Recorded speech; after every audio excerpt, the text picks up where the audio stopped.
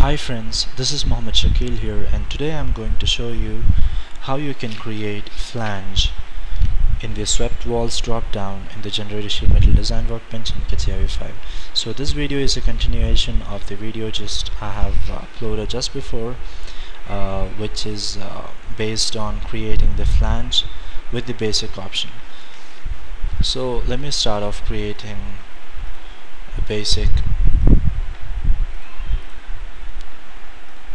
basic uh, wall.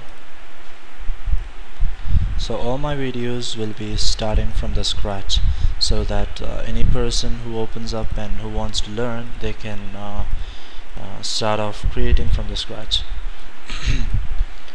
So for creating the flange the first thing you need to have is a basic wall which I've just created now now for creating the flange go to the walls toolbar you have the flange option.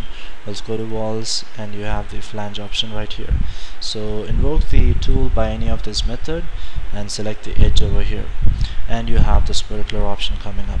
So in my previous uh, tutorial based on flange I have uh, missed up to say one thing uh, that is about uh, the flange plane. So I'm going to explain you what is this flange plane. So flange plane option this checker is used to specify uh, the inclination of the flange with respect to a plane. So I'm going to create a plane here.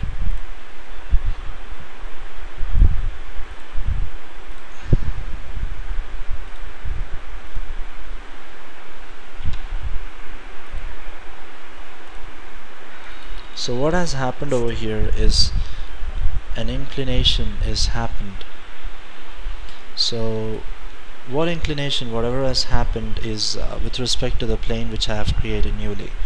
So once I click on OK and another another thing that you need to notice uh, in this particular case the trim support will be uh, disabled. And what you can uh, what you can see is only the flange plane is being selected. All the other options over here are all the same as I have explained in the uh, previous tutorial. So once you click on OK the trim the support will be trimmed and uh, the remaining flange will be kept. So that's how you can create the uh, flange with uh, I mean uh, flange with uh, the plane inclination and uh, let's see how a relimited option will work. So I'm putting control Z so I'm going back. Now let's see how we can create the relimited option. So again go to the flange tool and select an edge and in this time you can go to the relimited option. So basically relimited option is used to uh, limit the distance where or the, the portion where the flange is being created.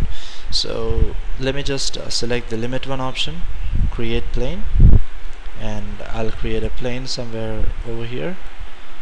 I'll click OK and uh, the next plane I'll create it somewhere over here. So uh, the flange is gonna get created between these two planes here so as you can see here this is how the relimited option will work.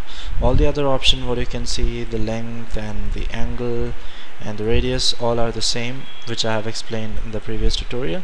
So that's how you can create the uh, flange with the relimited option in the generated sheet metal design workbench in V5 so I hope you enjoyed my video. I hope this uh, tutorial is gonna help you in your sheet metal uh, projects. Thank you so much for watching